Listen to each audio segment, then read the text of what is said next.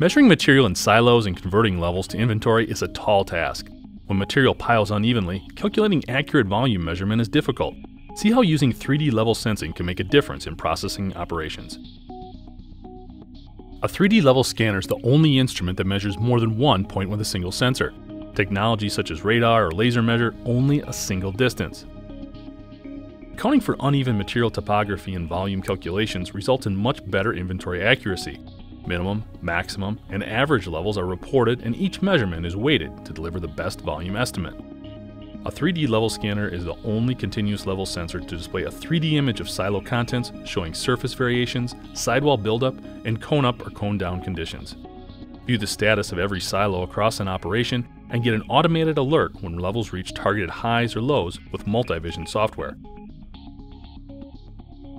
Materials such as flour, sand, cement, resin powders, and gypsum generate excess dust inside a silo.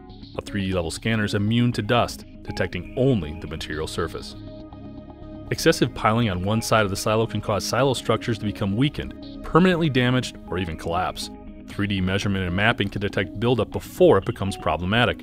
A 3D level scanner can measure material in a pie or wedge shaped enclosure. The device will sense the topographical difference and deliver volume estimations for each segment of the silo.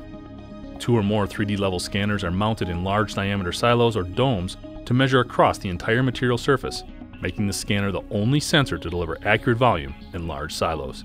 If accurate volume is important to your operation, the 3D level scanner will help you reduce safety stock and buy smart.